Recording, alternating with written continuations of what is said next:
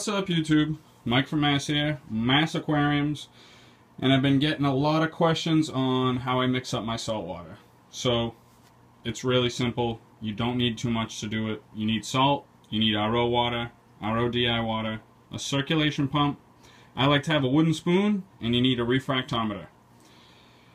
Now, I've already mixed up this batch here and I'm letting it sit. Fairly simple. I use reef crystals. It calls for a half a cup of salt per gallon.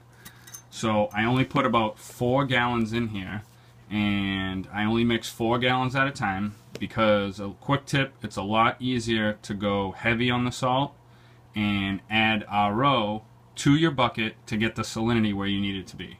Instead of trying to have it be under and adding a little bit of salt here and there. Tiny bit, tiny bit, tiny bit.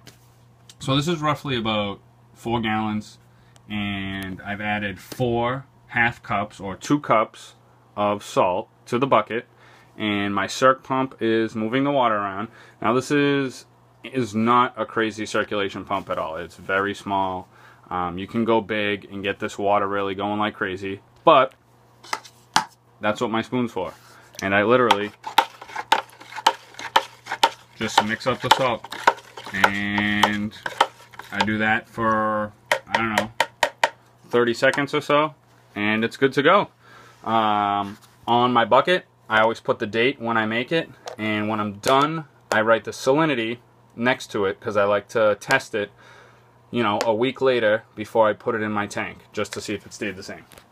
Like I got a bucket right here, heating up and it was done last week and the salinity was 1.025 I checked it right before I'm about to do a water change didn't change 1.025 that'll help stay if you have it controlled in a sealed you know a sealed bucket or a trash barrel preferably in the basement or a place that doesn't get too humid um, but I've kept my water, this is a touchy subject, I've kept my water for four weeks and it's been completely fine. Tested it. Everything was the same as when I tested it when I first started. So, you know, some people like to use their water immediately. Some people can store it for a week. Some people store it indefinitely, you know. Um, I've gone four weeks, but I only store it for a week.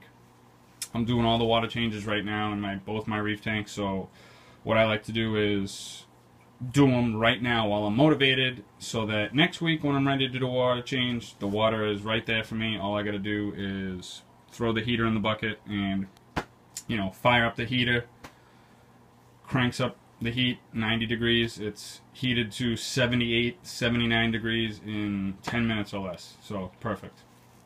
And then you're just going to want to keep checking the salinity until it's right where it needs to be. So that's it. Quick vid. Hope you enjoyed. I'm out.